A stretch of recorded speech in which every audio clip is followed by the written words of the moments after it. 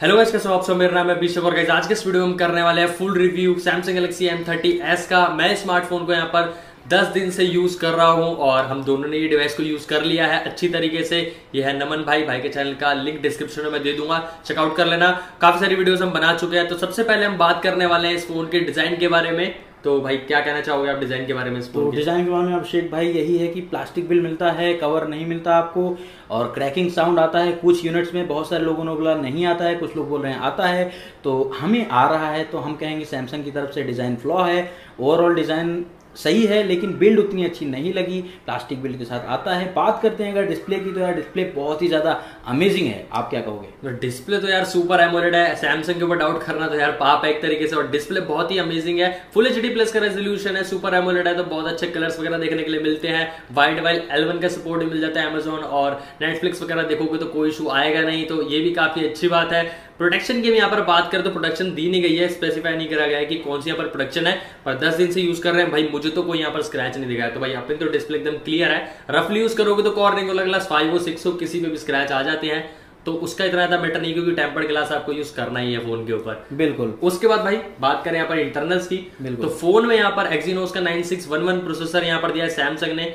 तो नंबर्स की अगर हम बात ना करें परफॉर्मेंस की बात करें तो पबजी ये चला देता है HDR में अल्ट्रा ग्राफिक्स तक। बिल्कुल। लेकिन HDR में आप ना ही खेलें तो ज़्यादा बेटर होगा। आप स्मूथ या फिर HD में खेलेंगे तो आपको बेटर एक्सपीरियंस मिल जाएगा, क्योंकि HDR में बहुत ज़्यादा फ्रेम ड्रॉप्स देखने को मिलेंगे। फ्रेम रेट बहुत ज़्यादा अप्स एंड डाउन देखने को मिलेंगे और लैग आपको देखने को मिलेगा बहुत ज़्यादा। तो आप जनरली HD में प्ले करें तो काफ़ी अच्छा एक्सपीरियंस मिल जाएगा और overall day to day life में आपको कोई भी दिक्कत नहीं होगी इस डिवाइस में। यूएफएस 2.1 का स्टोरेज मिल जाता है तो यार ओवरऑल आपको बहुत ही स्नैपी फील होगा ये डिवाइस तो गाइस गेमिंग के लिए तो डिवाइस नहीं है but day to day life के लिए अगर आप सोशल मीडिया वगैरह यूज़ करते हो थोड़ी बहुत कैमरा वगैरह यूज़ करते हो तो ये फ़ोन अच्छा है बट गेमिंग के लिए आप इस डिवाइस को मत लेना। मैं आपको सीधे सीधे यही बात बोलना चाहूँगा। हाँ नॉर्मल कैजुअल गेम्स आप खेल सकते हो बट हाई सेटिंग्स पे गेम्स नहीं चला सकता ये फ़ोन काफ़ी ज़्यादा फ्रेम ड्रॉप्स हमें यहाँ पर देखने के लिए मिलते हैं। बाकी सॉफ्टवेयर की यहाँ पर हम बात करते हैं तो भाई वो काफ़ी अच्छा है। वन यू आई यहाँ पे मिलता है जो कि बेस्ड है एंड्रॉइड नाइन पाई के ऊपर। एंड्रॉइड क्यूब अपडेट भी आपको बहुत जल्द देखने को मिल सकता है। बाकी वन यू बहुत ही ज़्यादा स्नैपी है बहुत ही बढ़िया है बहुत ही नीट एंड क्लीन आपको यू आई देखने को मिल जाएगा। सैमसंग की तरफ़ से तो यार यहाँ पे इसमें आपको बहुत सारे फीचर्स मिल जाते हैं। नाइट मोड मिल जाता है तो भाई एमोलेड स्क्रीन है तो आपको बहुत कमाल का वहाँ पे ब्लैक देखने को मिल जाएगा।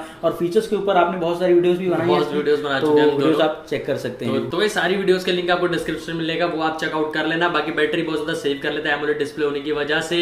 और बाकी ओवरऑल जो सॉफ्टवेयर है वन हैंड यूज़ के लिए ऑप्टिमाइज है। तो सॉफ्टवेयर के मामले में सैमसंग काफ़ी ज़्यादा इंप्रूव कर गया है पुराने वर्जन से। तो सॉफ्टवेयर में आपको कोई भी इशू यहाँ पर देखने के लिए मिलेगा नहीं। उसके बाद यार फिंगरप्रिंट सेंसर और फेशियल लॉक की हम यहाँ पर बात करें तो वो एवरेज है। एवरेज है।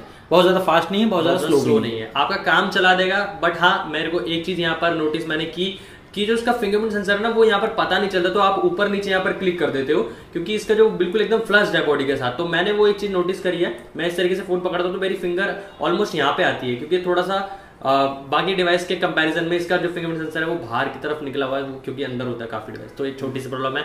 बाकी बैटरी इस फ़ोन की बहुत ही कमाल की है भाई। बिल्कुल। सिक्स थाउज़ेंड एम की बैटरी मिल जाती है मॉन्स्टर बैटरी है। बैटरी बैकअप आपको सात से आठ घंटे का इजीली मिल जाएगा। बहुत ही कमाल की बैटरी है यार, और फास्ट चार्जिंग में सपोर्ट करती है 15 वॉट की, और यहाँ पे फास्ट चार्जर मिल जाता है आपको बॉक्स के अंदर। टाइप सी देखने को मिल जाएगा इस डिवाइस में। चार्ज आपको ढाई से तीन घंटे के अंदर हो जाएगी ये बैटरी फुल चार्ज लेकिन यार स्क्रीन ऑन टाइम बहुत ही लाजवाब मिलता है आपको इसमें। बाकी मैंने इसका चार्जिंग टेस्ट भी बनाया था, उसमें ढाई घंटे में ज़ीरो से सौ हो गया था, जो कि बहुत ही कमाल की बात है, छह हज़ार एम एच की बैटरी वाले फ़ोन के लिए। तो वैसे कैमरा की हम यहाँ पर बात करते तो पीछे ट्रिपल रियर कैमरा का सेटअप है, आगे यहाँ पर सेल्फी कैमरा भी मिल जाता है, पीछे 48 मेगापिक्सल का मेन कैमरा अल्ट्रा वाइड भी मिल जाता है। कैमरे की परफॉर्मेंस यहाँ पर मैं एवरेज कहना चाहूँगा बहुत ज़्यादा डिटेल से कैप्चर नहीं करता है। मतलब ओवरऑल जो स्किन टोन्स वगैरह होती है यहाँ पर थोड़ी ब्यूटीफाई कर देता है, अगर आप इसके फ्रंट फेसिंग कैमरे की भी यहाँ पर बात करेंगे। और वीडियोस के मामले में भी थोड़ा लैग करता है भाई। क्योंकि यहाँ पर आपको स्टेबलाइजेशन तो मिल जाता है सुपर स्टडी मोड भी आपको यहाँ पर दिया गया है और सुपर स्लो मोशन भी आपको यहाँ पर देखने के लिए मिलता है। बट यार वीडियो की क्वालिटी इतनी ज़्यादा अच्छी नहीं है डिटेल्ड वीडियोस कैप्चर ये नहीं करता है। सेल्फीज वगैरह भी यहाँ पर ये ब्यूटिफिकेशन के साथ ऑफ़ कर देंगे, उसके बाद भी यहाँ पर ब्यूटिफिकेशन का यहाँ पर इफ़ेक्ट मिलेगा।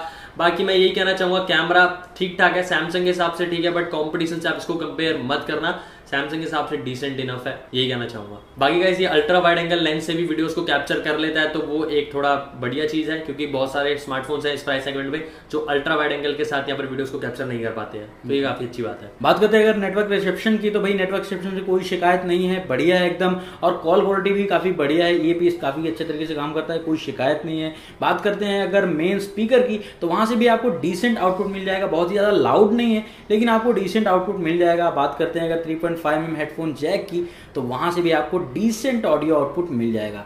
डॉल्बी का सपोर्ट मिल जाता है तो डॉल्बी यूज़ करेंगे अगर आप तो भाई आपको थोड़ा बेटर एक्सपीरियंस मिल जाएगा। बट ओवरऑल आपको साउंड के डिवीज़न में बहुत ज़्यादा कमाल का साउंड आउटपुट नहीं मिलेगा या बहुत ज़्यादा बेकार नहीं मिलेगा। तो ओवरऑल आपको काफ़ी एवरेज साउंड क्वालिटी आपको मिल जाएगी इस डिवाइस में। पर गाइज़ आपको इससे शिकायत नहीं होगी, ऐसा नहीं लगेगा कि बहुत ज़्यादा कम आपको यहाँ पर साउंड देखने के लिए मिलता है। आउटडोर्स में भी यूज़ करोगे तो काफ़ी एडिक्वेटली लाउड है। तो गाइज़ इस फ़ोन में आपको दो वेरियंट देखने के लिए मिलते हैं। फोर सिक्सटी फोर आपको यहाँ पर चौदह हज़ार की प्राइस में देखने के लिए मिल जाता है और एक सत्तर हज़ार में आपको सिक्स देखने के लिए मिलता है। रिकमेंडेशन यही है कि आप सिक्सटी फोर जी वाला यहाँ पर परचेज करें, क्योंकि डेडिकेटेड माइक्रो एस कार्ड आपको यहाँ पर मिल जाता है डुअल सिम के साथ। उसके बाद अगर आप बैंक ऑफर्स वगैरह लगा देंगे, जैसे कि हमने सिक्सटी फोर जी वाला यहाँ पर परचेज किया था तो ग्यारह हज़ार छह सौ रुपए का हमें मिला था तो काफ़ी बढ़िया बात है। वो सब ऑफर्स आप देख लेना अमेजोन के ऊपर। तो यहाँ पे बात करते हैं फाइनल कंक्लूजन की भैया क्यों आपको M thirty S device purchase करना चाहिए क्यों नहीं करना चाहिए? तो बात करते हैं क्यों परचेज करना चाहिए तो डिस्प्ले क्वालिटी बहुत ही लाजवाब है औसम है और यहाँ पे सिक्स थाउज़ेंड की बैटरी मिल जाती है बहुत ही कमाल की। और साथ ही यहाँ पे वन यू मिल जाता है जिसकी परफॉर्मेंस आपको बहुत ही बढ़िया लगेगी नीट एंड क्लीन यूआई है।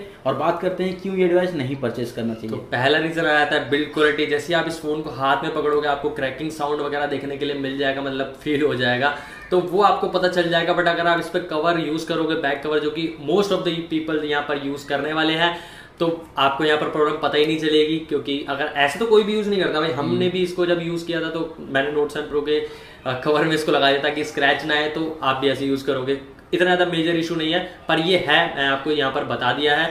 बाकी इतने ज़्यादा मेजर यहाँ पर इशू इसके कैमरे के अंदर भी नहीं है बट डिसेंट सा कैमरा है बट यहाँ पर कैमरा इसका कॉन्स के अंदर आ जाता है क्योंकि बहुत ज़्यादा अच्छा कैमरा नहीं है हाँ, बट प्राइस के हिसाब से डिसेंट मैं बोलना चाहूँ प्राइस के हिसाब से सैमसंग के हिसाब से अच्छा है। बट अगर कंपेयर करें कंपटीशन से इसी प्राइस सेगमेंट में तो हाँ यार कैमरा इसका थोड़ा वीक पड़ता है बट ओडी अपडेट के थ्रू अगर फिक्स हो सकता है, कुछ चीज़ें इंप्रूव हो सकती हैं तो हम चाहेंगे भाई सैमसंग इसे इंप्रूव करे, क्योंकि यार डिवाइस ओवरऑल काफ़ी बढ़िया लगा हमें। फोर्टीन के बजट में अगर बात करते हैं तो यार काफ़ी कमाल का डिवाइस है सैमसंग की तरफ़ से। तो वैसे अभी के लिए इस वीडियो में इतना ही। नमन भाई के चैनल का लिंक आपको डिस्क्रिप्शन में मिल जाएगा। ज़रूर से चेकआउट करना। बहुत कमाल की वीडियो हम इस पर बना चुके हैं। चेकआउट कर लेना, सारी वीडियो का लिंक आपको डिस्क्रिप्शन में मिल जाएगा। अभी के लिए वीडियो में इतना ही। मिलते हैं नेक्स्ट वाली वीडियो में तो